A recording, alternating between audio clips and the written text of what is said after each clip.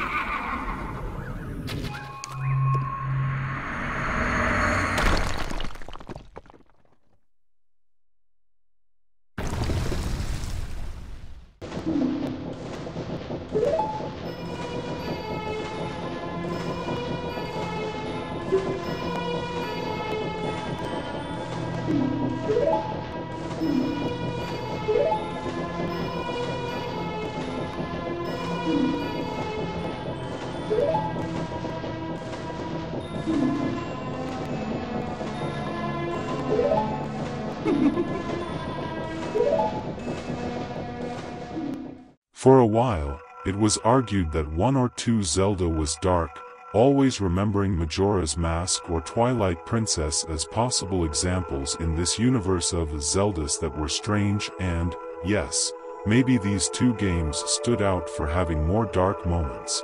But have you noticed how every Zelda has at least one moment that we could call eerie? It's almost like a signature, like Ganondorf, like Link, like Princess Zelda, like so many other things in the series, it feels like it's necessary that at some point something happens and destroy the friendly and familiar game and brings a weird moment, something out of the ordinary, the dark past about a character or a side quest that feels like a thriller movie. And why does Zelda games do this? More importantly, why do we like it so much? In my opinion, this relationship of making dark moments has a reason, but first it is important to understand how Zelda games build these moments. First, this moment is felt through an aesthetic and cultural response. In the aesthetic factor, it is important to highlight how Zelda games are extremely colorful, and that's a crucial aspect because the amount of color helps Zelda games to explore an aesthetic universe of themes that mixes vast cultural elements and stands out by spilling cultural stereotypes through its colors. Zelda games uses aesthetic elements from African culture, with masks and geometric figures, to elements of Asian legends, with the dojos, Japanese architecture, stories of spirits that are mixing with nature elements, as well as elements of medieval Europe, with castles, characteristic melee weapons and others. Zelda Games' vast repertoire of references can only be seen, precisely because its colors point the references in an almost exaggerated and very specific way.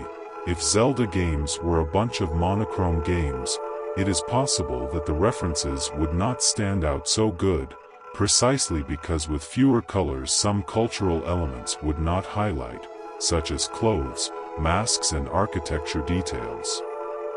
In this sense, it is almost essential that the Zelda games are as colorful as they are, so that we can visually feel the reference changes, so also explore this great compilation of real-world legends reinterpreted in such a classic series of games. However, this brings another important factor.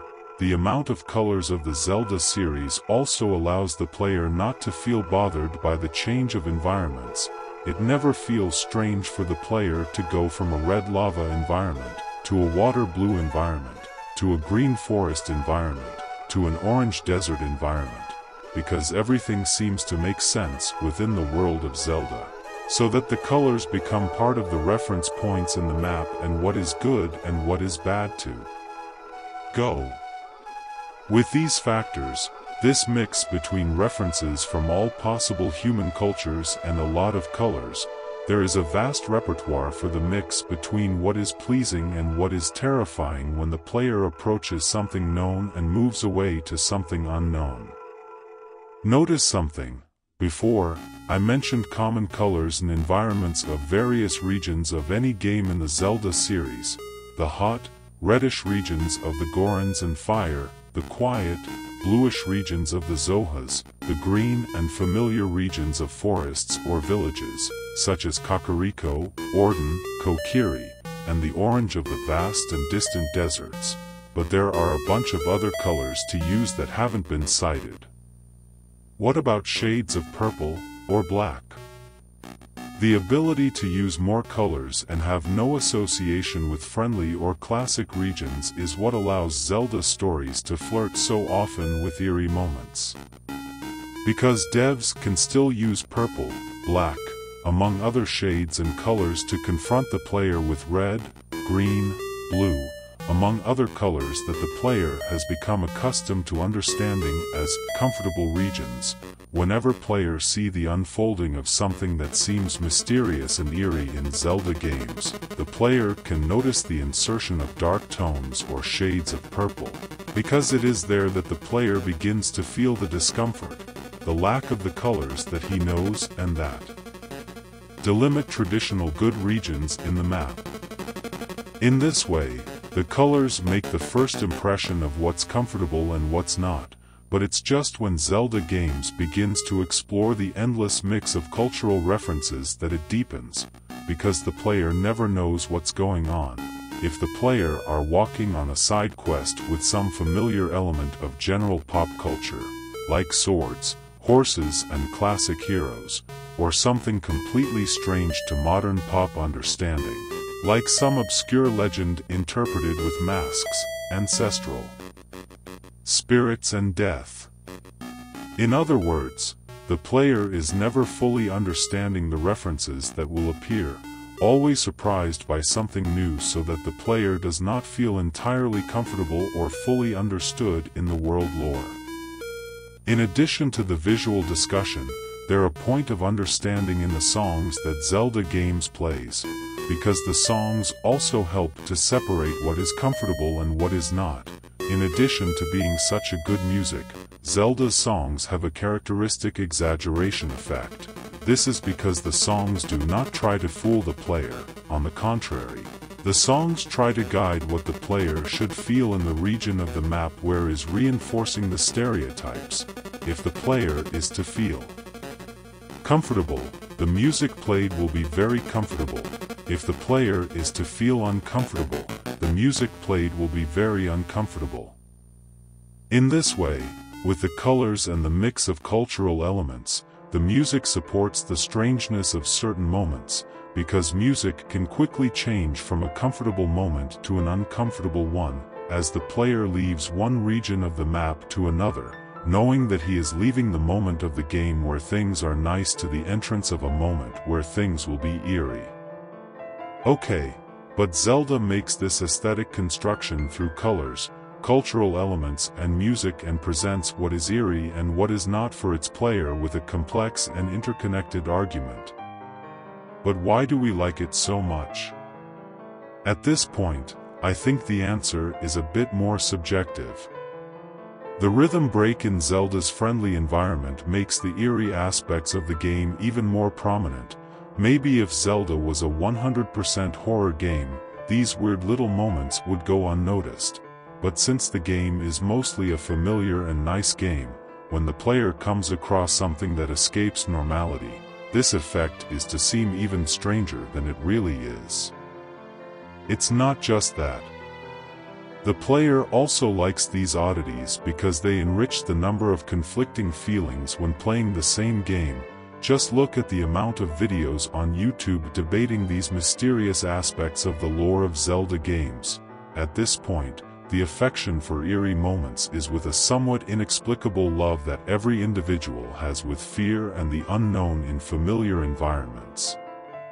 We like to watch horror movies at home, only to be afraid to move around in environments we already know and feel safe. We like mystery stories that may exist close to our daily lives.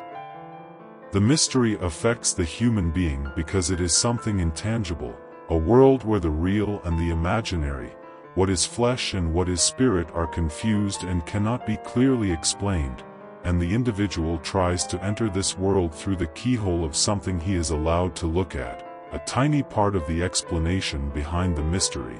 This eerie moment brings value to life and history, because it makes the individual feel alive by feeling that fear which affects psychologically and also physically, with the heart palpitating, or that weird itchy feeling that something is watching you.